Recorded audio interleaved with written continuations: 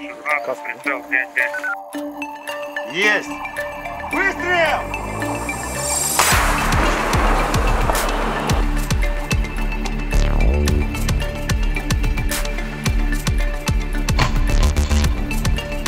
रूस यूक्रेन युद्ध अपने तीसरे साल में प्रवेश करने के बाद और भयानक होता जा रहा है अब तक यूक्रेन की मदद पश्चिमी देश और नाटो अलायंस पीछे से कर रहे थे लेकिन अब वे खुलकर रूस के सामने आने लगे खतरे को भापते हुए रूस ने भी अपनी तैयारी पूरी कर ली है।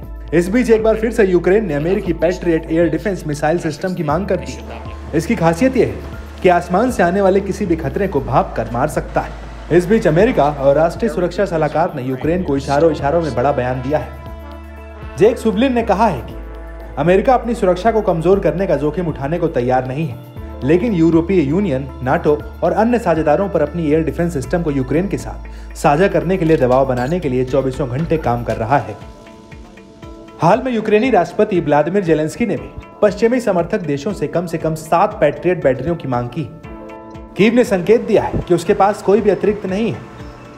अमेरिका कैनेसे ने कहा है कि अमेरिकी पेट्रियट सिस्टम अभी अमेरिकी सैनिकों की सुरक्षा के लिए मिडिल ईस्ट समेत दुनिया भर में तैनात किए जा रहे हैं।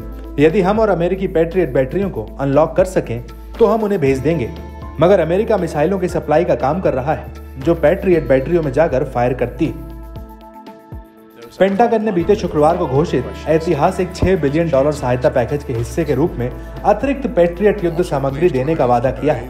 हालाँकि ये साफ़ नहीं है कि इंटरसेप्टर के आने में कितने महीने या फिर साल लग सकते हैं।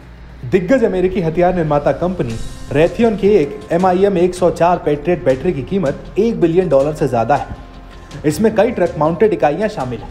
इनमें बिजली रडार, एंटीना इंगेजमेंट कंट्रोल और अन्य सहायक वाहन, सात इंटरसेप्टर मिसाइलों के साथ आठ लॉन्चर शामिल हैं।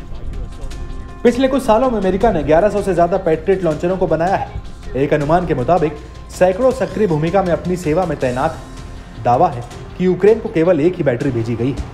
जर्मनी ने दो बैटरी दी है, जबकि नीदरलैंड ने सिर्फ़ दो लॉन्चर शेयर किए हैं।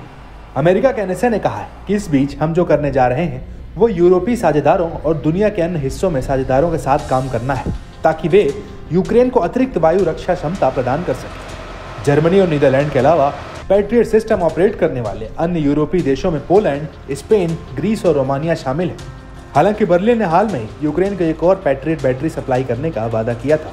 वहीं पोलैंड ने इस हफ़्ते की शुरुआत में कहा था कि उसके पास एक्स्ट्रा एयर डिफेंस सिस्टम नहीं उधर स्पेन ने कहा है कि वो यूक्रेन को अपने स्टॉक से सिर्फ़ छोटी संख्या में पैट्रियट इंटरसेप्टर मिसाइलें दे सकता है, मगर वास्तविक सिस्टम नहीं दे सकता।